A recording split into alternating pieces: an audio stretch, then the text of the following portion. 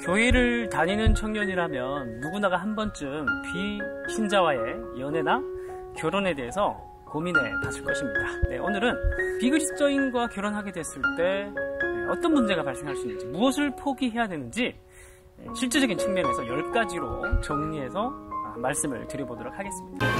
좋아요와 구독. 첫 번째, 뭐 당연하겠죠. 주일에 내 남편과 함께 혹은 내 아내와 함께 손을 잡고 예배를 드리러 가는 게 불가능해지게 될 것입니다.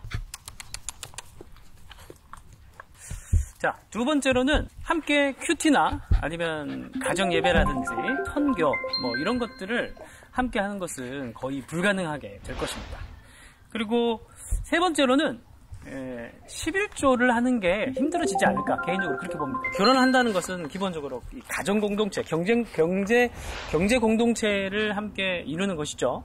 어, 그러다 보니까 이 액수가 큰 11조 같은 경우에는 허락을 받아야 됩니다. 그런데 남편이나 아내의 허락을 받는다고 하더라도 오래 가지 못해 분명히 갈등의 소지가 됩니다. 그래서 비그리스도인과 결혼을 했을 때 11조 생활을 하는 것은 힘들지 않을까 개인적으로 그렇게 보고요. 그리고 네 번째로 교회 친구들, 교회 사람들에게 내 남편이나 내 아내를 소개시키고 같이 식사를 하거나 교제를 하거나 관계를 맺는 게 당연히 불가능해지겠죠. 다섯 번째로 결혼식을 했을 때 교회 다니는 청년들은 당연히 결혼 예배, 예식의 형식으로 어, 결혼식을 드리려고 하겠죠. 그런데 예배 형식은 비그리스도인들에게 너무나 생소한 방식이지 않습니까? 그래서 예식으로 진행하는 것에 있어서도 갈등들을 겪더라고요. 그리고 여섯 번째로 자녀들의 교육에 있어서도 신앙의 기준으로 자녀들을 양육하는 게 불가능해질 것입니다.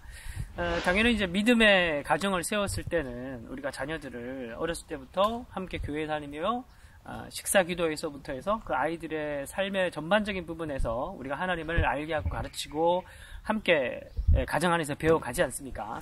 사실 이게 남편이 협조하지 않거나 아내가 협조하지 않으면 그 자녀들을 나 혼자의 힘으로 그렇게 신앙 교육하는 것은 물론 불가능한 것은 아니겠지만 힘에 겨운 것은 사실입니다. 일곱 번째로 부부싸움을 했을 경우에 내가 가지고 있는 신앙 때문에 이해를 받는 것이 아니라 도리어 공격을 받을 수가 있다는 것입니다. 교회를 다닌 사람이 왜 그래? 뭐 이런 식으로 어, 공격을 받을 수가 있는 것이죠. 우리가 신앙인이라고 하더라도 완벽하지 않다는 것을 우리는 신앙을 가지고 있는 모든 사람들은 다 알고 있죠. 그래서 우리는 그런 식으로 정죄하거나 공격하지 않습니다. 그런데 한쪽이 신앙이 없을 경우에 부부싸움이 발생하게 되면 오히려 그 신앙을 가지고 있는 것이 공격의 빌미가 될 수 있는 것이죠. 여덟 번째로 부부 생활을 하다 보면 많은 숱한 어려움들을 함께 겪어내야 합니다. 그런데 그리스도인으로서 어려움이 발생했을 때 그 어려움들을 극복할 수 있는 가장 원천적 힘은 바로 신앙일 것입니다.